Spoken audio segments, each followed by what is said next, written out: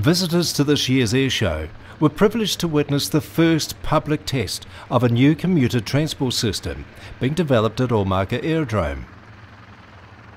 The Gippsland Aeronautics 200 Fatman is a light agricultural aircraft designed in Australia and now used for agricultural aviation around the world. Able to carry a significant payload, it was decided to use this local example to test the new system. The concept is deceptively simple and is similar to normal taxi services.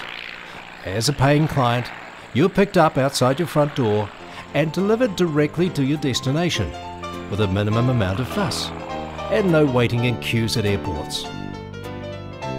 While the pickup system appears to work well, there seems to be a few in flight passenger comfort issues that need to be ironed out. Having enjoyed an invigorating flight, the commuter is then literally dropped off right on the doorstep. Unfortunately, the sudden stop at the end of the trip also seems to cause a few problems. So, this is something that the designers of the system will be working on to correct.